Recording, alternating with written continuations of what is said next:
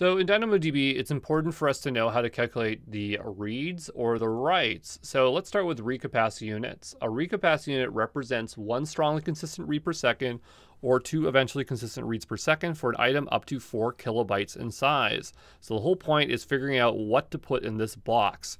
Uh, and so if we had um, data that was 4 kilobytes or data or less at 10, this would equal 10 strongly consistent reads or 20 eventually consistent reads. But if this shows up in the exam, they're not uh, they're going to not ask you uh, this stuff. They're going to ask you how to calculate this number here. And that's what we're going to figure out. But remember that we have consistent reads and strong reads. So we have to have two different formulas for calculating this n number here.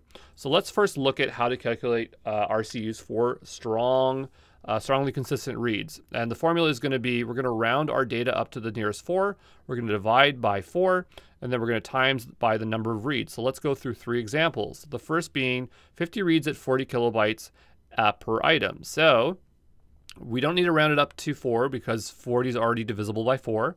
And we're going to divide that by 4, giving us 10 timesing uh, that by 50. That's how many reads we have. And that's going to be the number that goes up in here, 500 uh, RCUs. Uh, the next one here is 10 reads at 6 kilobytes per item. So 6 needs to get rounded up to 8. Uh, that 8 is divided by 4, uh, which turns into 2.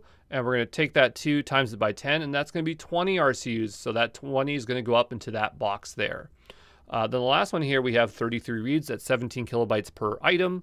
Uh, and so 17 kilobytes need to be rounded up to 20. 20 is uh, divisible by 4 becomes 4 and then we times 4 by the number of reads, which is 33, and that's going to give us 132 RCUs. So we're going to now look at how to calculate RCUs for uh, eventually consistent reads. And remember uh, that for each RCU, we get two eventually consistent reads per second. So the formula is going to vary here, but going to be pretty darn similar.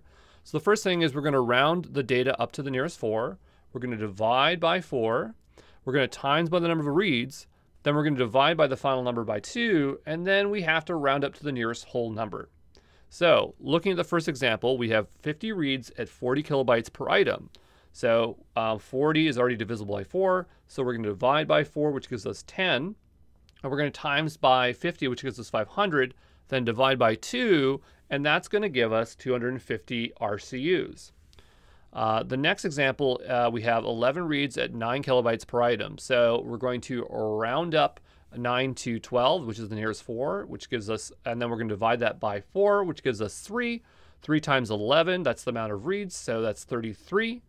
Um, then we're going to divide by 2, which gives us 16.5, and then we'll have to round that up to the whole number, so that's 17.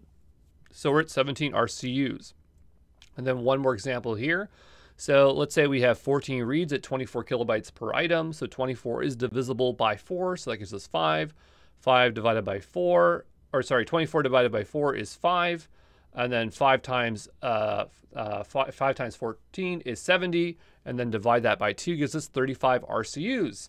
So um, I know math isn't fun, but it is something you definitely need to learn. So just drill through this stuff uh, until you get it. Um, and there you go.